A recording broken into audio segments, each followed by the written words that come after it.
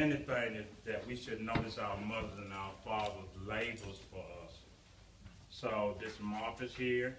I found the mop at the site. I put that in there. And then I thought about why would you labor as hard as you do? You would labor because of an expression called talents and skills.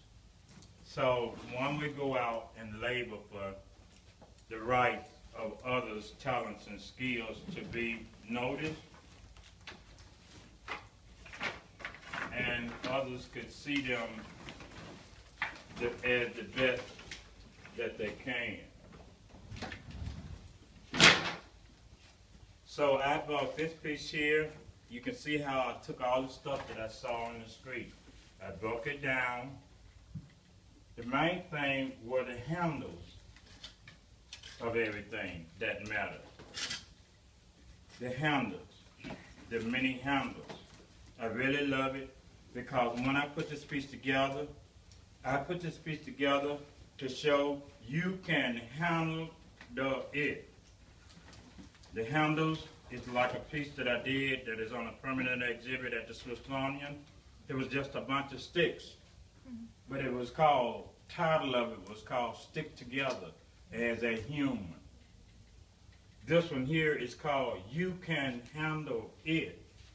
Because the it for me could even talk about like last night or the night before that one, the storms that comes your way mm-hmm. and messes up your beautiful day. Doesn't mess up your life. It messes up your beautiful day or the way you see a beautiful day. So now what I can do with this piece, I wanted to show you all how I have to be thinking together. It has to stay together when you get it together. So for me, doing a piece, I want to do it the very best that I can.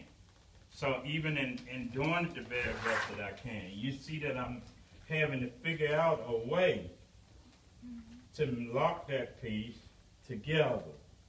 You see, just a little. You see how I just bent that just a little? You see how I'm firming it up.